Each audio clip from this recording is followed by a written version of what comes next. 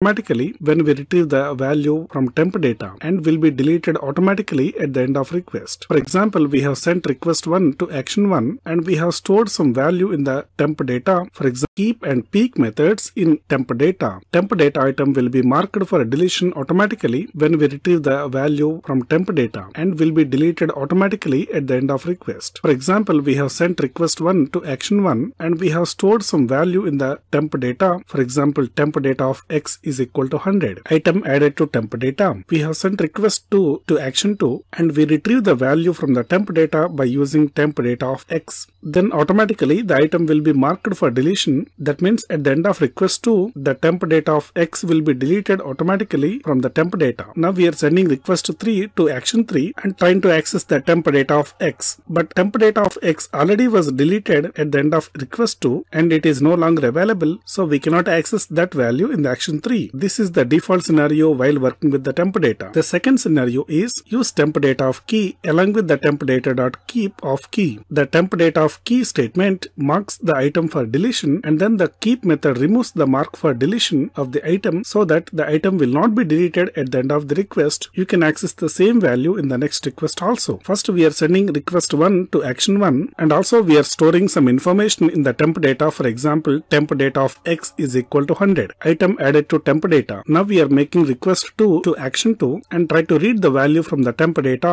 by using temp data of x syntax. The item value will be retrieved and also it will be marked for deletion automatically. But as we want the value in the next request also we are calling a statement temp data of key which means that don't delete it. So it will remove the mark for deletion so that the item will be available in the next request also. Now we are making request 3 to action 3 and we try to retrieve the value from the temp data by using temp data of x as the value is not deleted in the previous request the value is available in the action 3. So we use the keep method in order to remove the mark for deletion and make the data available for the subsequent request.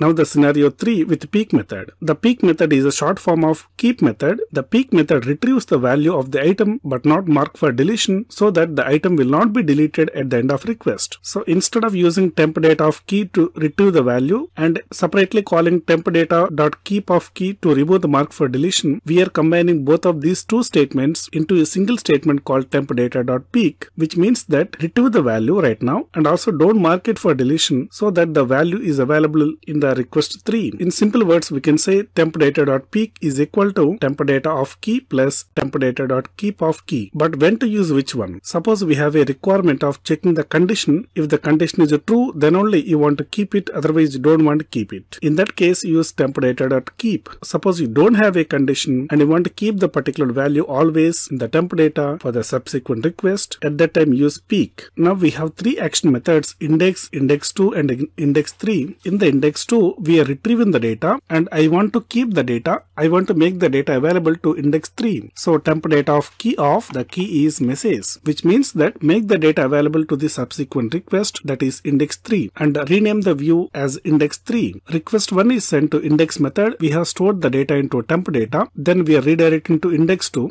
That means request 2 is sent to index 2. We retrieve the value it is marked for deletion, immediately we are calling keep method in order to remove the mark for deletion so that the data is available in the temp data for the subsequent request. Now the request 3 is sent to index 3. Still the data is available because we have removed the mark for deletion in the previous request by using keep method and the same is printing in the output. This is how to work with the keep method. Now let's convert the same into peek method. Peek method is just a shortcut of these two statements. We are converting these two statements into peek method. The peek method returns the value and also will not mark the item for deletion. Request 1 is sent to index. In this case, we are reading the value from the temp data and also not marking for deletion so that the same value is available in the request 3 also and the same is printing in the output. So the peek method is just about a shortcut way than the keep method but sometimes you want to keep some condition for example, if the condition is true, then only we are keeping it, otherwise not. For this scenario, keep method is best. This is all about keep and peek methods in ASP.NET MVC temp data.